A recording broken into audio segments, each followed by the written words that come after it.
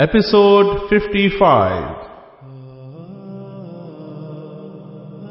ایک دوپہر رستم فوج کے مستقر کا معائنہ کرنے کے بعد واپس آ رہا تھا۔ چار مسلح سوار اس کے ساتھ تھے۔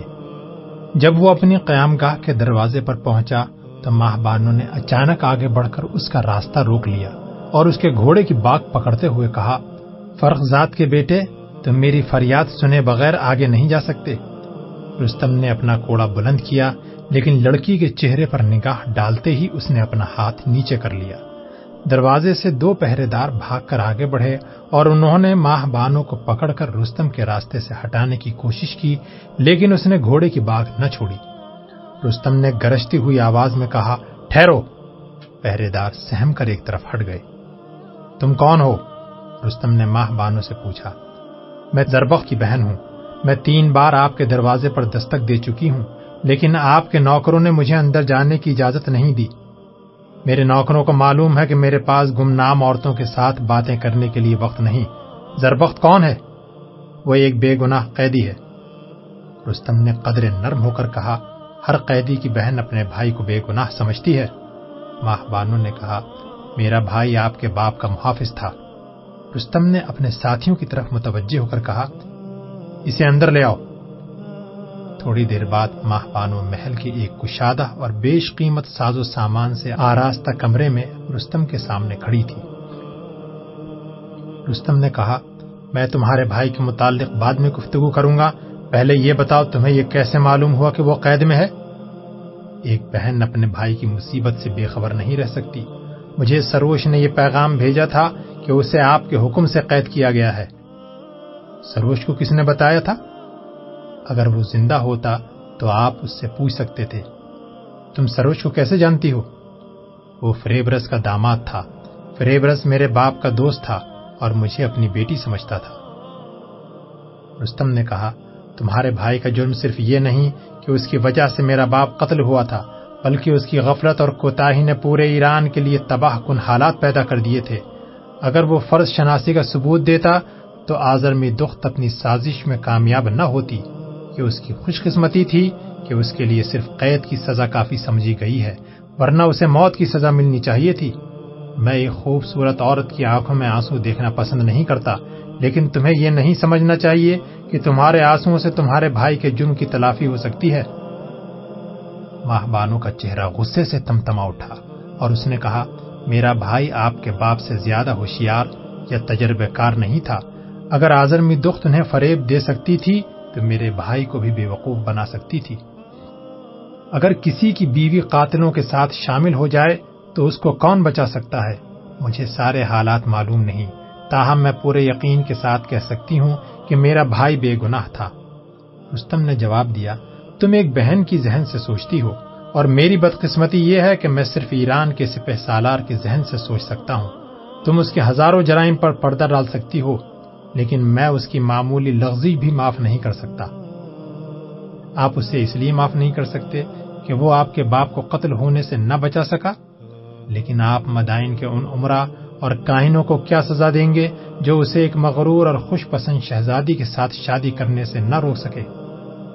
اگر ان میں سے کسی نے میرے باپ کی حفاظت کی ذمہ داری قبول کی ہوتی اور پھر مجھے یہ معلوم ہوتا کہ وہ حملے کے وقت تمہارے بھائی کی طرح شراب سے مدہوش تھا تو میں اس کے ساتھ بھی یہی سلوک کرتا۔ اور تم نے شاید ابھی تک یہ سوچنے کی کوشش نہیں کی کہ فرق ذات صرف میرا باپ ہی نہیں تھا، بلکہ ایران کی سلطنت کا وزیر بھی تھا۔ ماہ بانو نے کہا، کیا اس سلطنت پر اس خاندان کا کوئی حق نہیں جس کی نسلیں اس کے لیے قربانیاں دے چکی ہیں؟ رستم نے جواب دیا، اگر تم کسی ایسی قربانی کا ذکر کرنا چاہتی ہو جس کا سلا تمہارے خاندان کو نہیں دیا گیا، تو میں سننے کے لیے تیار ہوں۔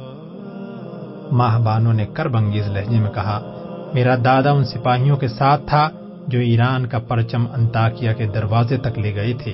میرا باپ اس لشکر کا ہر اول تھا جو بحر روم کے ساحل تک پہنچ گیا تھا، اور میرا بھائی ان جابازوں کا ہم رکاب تھا جو آرمیا کے میدان میں رومیوں کے سامنے سینہ سفر ہوئے تھے۔ کاش آج ایران کی مٹی کو قوت گویائی عطا ہو سکتی اور وہ آپ کو یہ بتا سکتی کہ آپ جس خاندان کا آخری چراغ بجھانے پر تلے ہوئے ہیں، اس کی قربانیاں کیا ہیں؟ تم کچھ اور کہنا چاہتی ہو؟ ماہ بانو کی آنکھوں میں آنسو جھلک رہے تھے۔ اس نے بڑی مشکل سے اپنی سسکیاں ضبط کرتے ہوئے جواب دیا، میں بہت کچھ کہنا چاہتی ہوں، لیکن ابھی وقت نہیں آیا۔ رستم نے کہا، میں تمہارے بھائی کی کوئی مدد نہیں کر سکتا، لیکن اس کے علاوہ اگر کوئی اور خواہش ہو تو وہ پوری ہو سکتی ہے۔ میں اپنے بھائی کا معاملہ اس اندیکھی قوت کو سونپتی ہوں جو مایوسی کی تاریکیوں کو امید کی روشنی عطا کرتی ہے۔ میں اس دن کا انتظار کروں گی جب دختران پارس وطن کی خاک سے اپنے آنسوں کا حساب مانگ سکیں گی اور جب عدل و انصاف کے دروازوں پر ننگی تلواروں کے پہرے نہیں ہوں گے۔ رستم نے تل ملا کر پوچھا، یہ باتیں تم نے کہاں سے سیکھی ہیں؟ مجھے معلوم نہیں، لیکن یہ ہو سکتا ہے کہ اس دنیا میں کوئی مجھ سے زیادہ مظلوم ہو اور اس نے زیادہ تاریکیوں میں بھٹکنے کے بعد زیادہ روشنی کی تمنا کی ہو اور میں نے آپ کے سامنے اس کے الفاظ دہرائے ہوں۔ تمہارا نام؟ رستم نے سوال کیا۔ ایوان کے سپہ سالار کو اس مظلوم اور بے بس عورت کے نام سے کیا دلچسپی ہو سکتی ہے؟ ہو سکتا ہے کہ میں مظلومیت کا احساس کم کرنے میں تمہاری مدد کر سکوں؟ جب تک میرا بھائی قید میں ہے، میرا احساس کم نہیں ہوگا۔ میں تمہیں کسی خوش فہمی میں مبتلا کرنا پسند نہیں کرتا۔ اسے بھول جاؤ۔ اس کے بعد میں سوچوں گا کہ تمہارے لیے اور کیا کر سکتا ہوں۔ ماہ بانو نے گردن اٹھا کر رستم کی طرف دیکھا اور کہا، آپ مجھ پر صرف ایک احسان کر سکتے ہیں۔ کہو، آپ کسی کو یہ نہ بتائیں کہ زربخت کی بہن آپ کو اپنی مظلومیت کی داستان سنانے آئی تھی۔ یہ کہہ کر ماہ بانو دروازے کی طرف مڑی۔ ٹھہرو، رستم نے گرجتی ہوئی آواز میں کہا ماہ بانو مڑ کر دیکھنے لگی۔ تم کہاں رہتی ہو؟ آپ کو یہ پوچھنے کی ضرورت نہیں۔ اور اگر آپ ایران کے لیے میری طرف سے کوئی خطرہ محسوس کرتے ہیں، تو میں یہیں سے قید خانے میں جانے کے لیے تیار ہوں۔ آپ کے سپاہیوں کو میرا پیچھا کرنے کی ضرورت نہیں۔ رستم کی قوت برداشت اچانک جواب دے گئی۔ بے وقوف لڑکی، تم مجھے کیا سمجھتی ہو؟ یہ جگہ اس سوال کا جواب دینے کے لیے موضوع نہیں۔ ماہ بانو یہ کہہ کر باہر نکل گئی۔ اور رستم نڈھال سا ہو کر کرسی پر بیٹھ گیا۔ پھر اس نے تالی بجائی، ایک افسر کمرے میں داخل ہوا۔ رستم نے کہا، تم اس لڑکی کے پیچھے جاؤ اور معلوم کرو وہ کہاں رہتی ہے۔ اس کے بعد قید خانے کے داروغہ اور شہر کے کوتوال کو حاضر کرو اور دیکھو، لڑکی کو یہ شک نہیں ہونا چاہیے کہ تم اس کا پیچھا کر رہے ہو۔ افسر سلام کر کے باہر نکل گیا۔ ماہ بانو آنسو بہاتی ہوئی محل سے باہر نکلی۔ تو باہر کوئی دو سو قدم دور سڑک کے موڑ پر سہیل اس کا انتظار کر رہا تھا۔ اس نے مغموم لہجے میں سوال کیا، رستم کیا کہتا ہے؟ ماہ بانو نے آنسو بھر کر جواب دیا، کچھ نہیں، کاش میں اس کے پاس نہ آتی۔ سہیل نے اس کے ساتھ چلتے ہوئے کہا، آپ کو مایوس نہیں ہونا چاہیے۔ مجھے یقین ہے کہ یزگرد رستم کی نسبت زیادہ رحم دل ثابت ہوگا۔ ماہ بانو نے جواب دیا، اگر یاسمین کا باپ زندہ ہوتا تو ممکن تھا کہ میں یزگرد کے دربار تک رسائی حاصل کر سکتی، لیکن اب مجھے کوئی صورت نظر نہیں آتی۔ وہ کچھ دیر خاموشی سے چلتے رہے، پھر سہیل نے مڑ کر دیکھا اور کہا، ایک آدمی رستم کے محل سے ہمارا پیچھا کر رہا ہے۔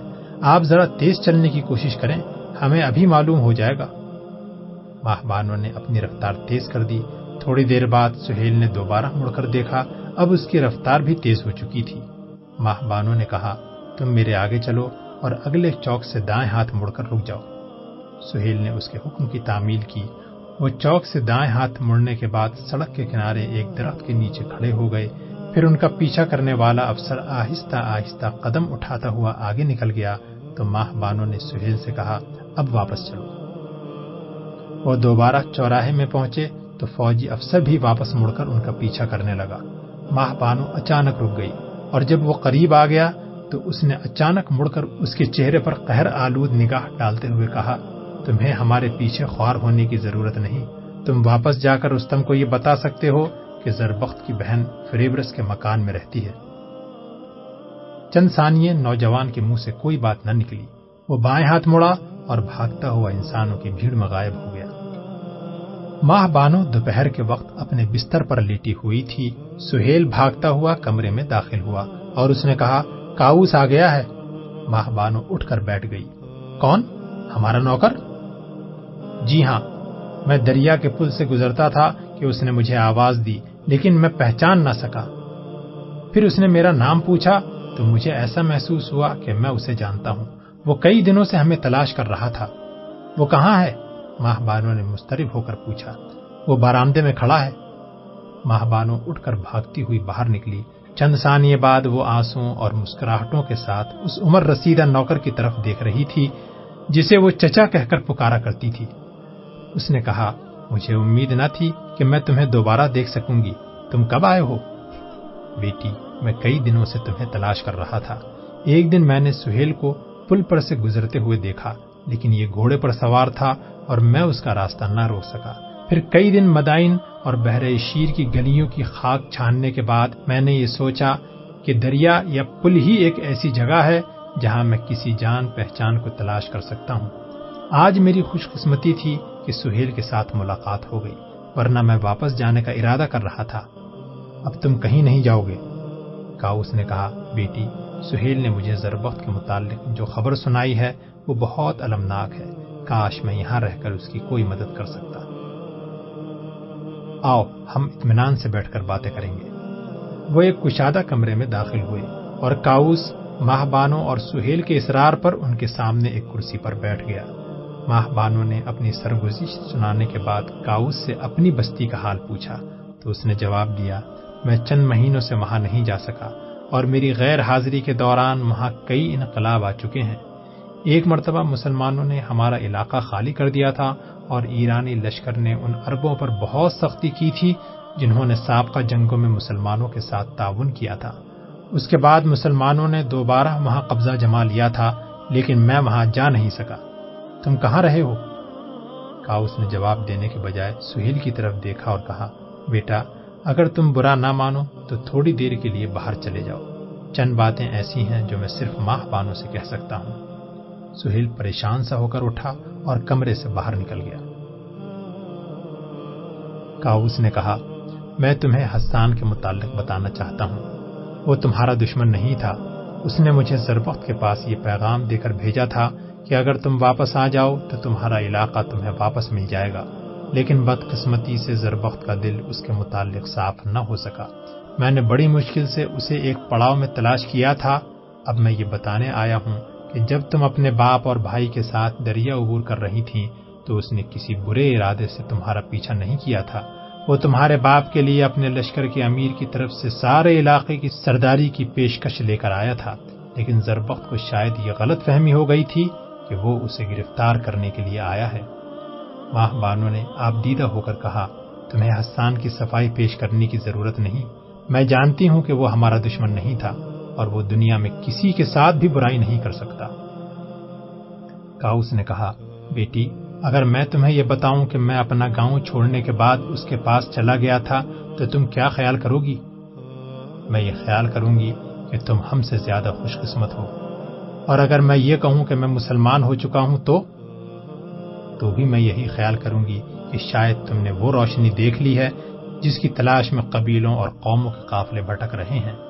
لیکن تم یہ باتیں سہیل کی موجودگی میں بھی کہہ سکتے تھے۔ اسے معلوم ہے کہ اس کا بھائی مسلمانوں کے لشکر میں شامل ہو چکا ہے۔ اس کی ملاقات بوئید کے میدان میں ہوئی تھی۔ کاؤس نے کہا، حسان نے مجھے بتایا تھا، لیکن اسے اس بات کا یقین نہیں تھا کہ سہیل نے بھی اسے پہچان لیا ہے۔ ماہ بانو بولی، اگر تم سہیل کے لیے آئے ہو، تو میں اسے روکنے کی کوشش نہیں کروں گی۔ کاؤس نے کچھ دیر سر جھکا کر سوچنے کے بعد ماہ بانو کی طرف دیکھا اور کہا، بیٹی فرض کرو اگر حسان بذات خود یہاں آ جائے تو تم اس کے ساتھ کیا سلوک کرو گی؟ ماہ بانو کی سانس اچانک تیز ہو گئی۔ اس نے کہا، اگر وہ بیمار ہو تو میں اس کی تیمارداری کروں گی۔ اور اگر وہ زخمی ہو کر میرے پاس آئے تو اسے پناہ دیتے وقت مجھے اس بات کی پرواہ نہیں ہوگی کہ روئے زمین کے تمام درندے اس کا پیچھا کر رہے ہیں۔ لیکن ایک فاتح کی حیثیت سے اس کا خیر مقدم کرنا شاید میرے بس کی بات نہ ہو۔ فرض کرو اگر اس وقت میری جگہ وہ تمہارے سامنے موجود ہوتا تو تم کیا محسوس کرتی؟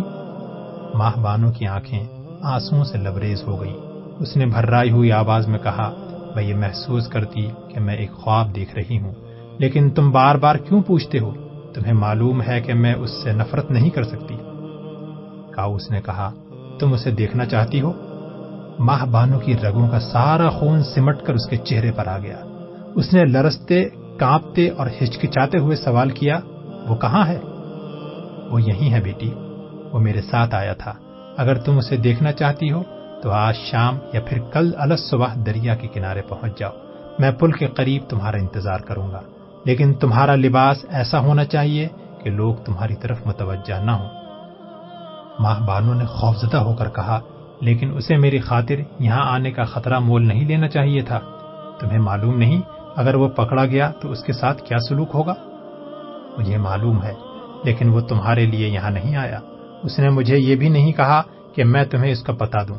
وہ صرف یہ معلوم کرنا چاہتا تھا کہ تم بخیر ہو، اور میں نے اس یقین اور اطمینان کے ساتھ تمہیں اس کے پاس لے جانے کی ذمہ داری قبول کی ہے کہ تم ہمیں گرفتار نہیں کرو گی اب مجھے اجازت دو، وہ میرا انتظار کر رہا ہوگا۔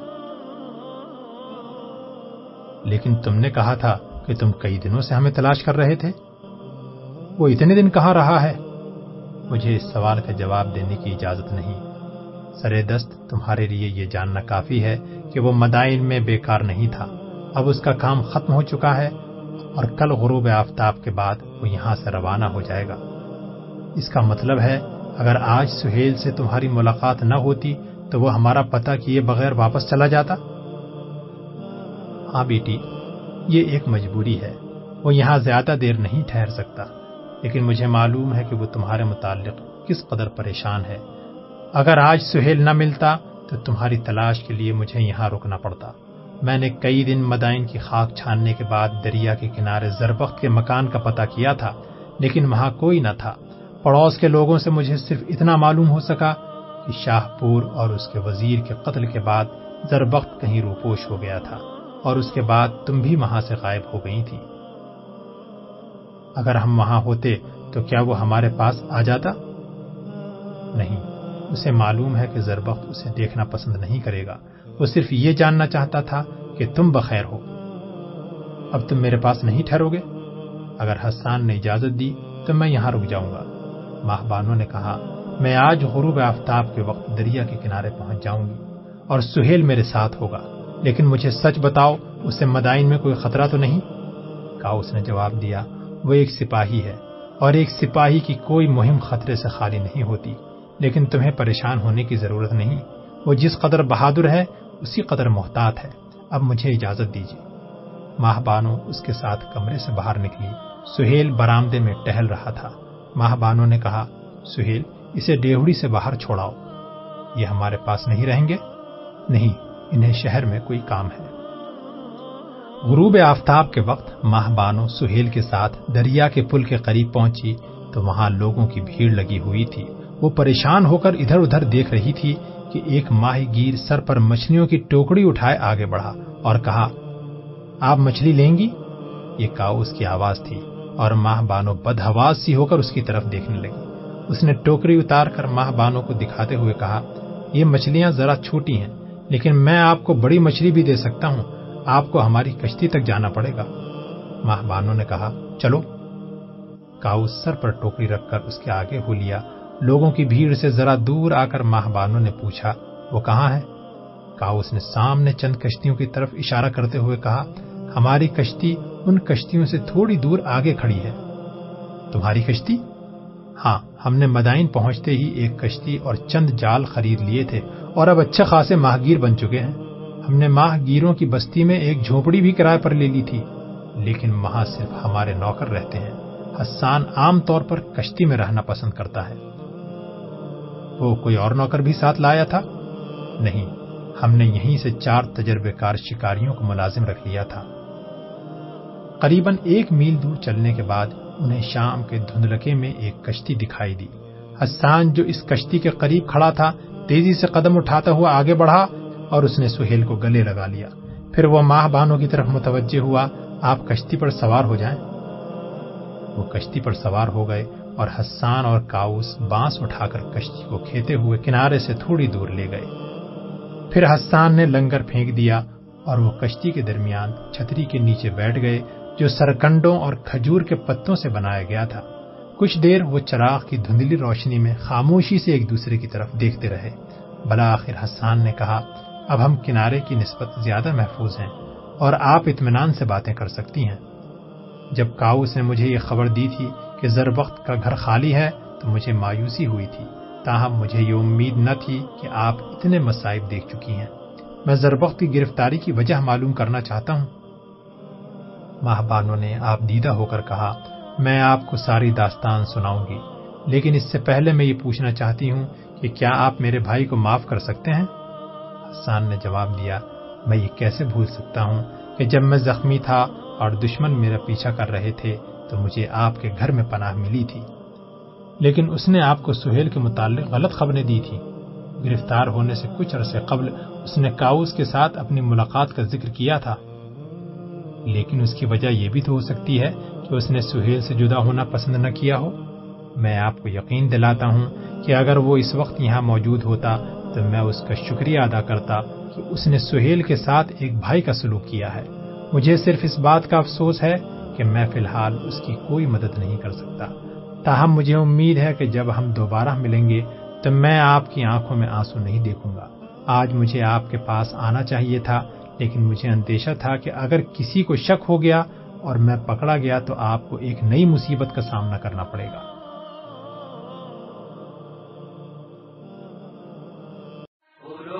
سماء الكون لقد طولنا النجم برفعتنا ولان المسلم كان له في الغرب صدى من همتنا، في الغرب صدى من همتنا، في الغرب صدى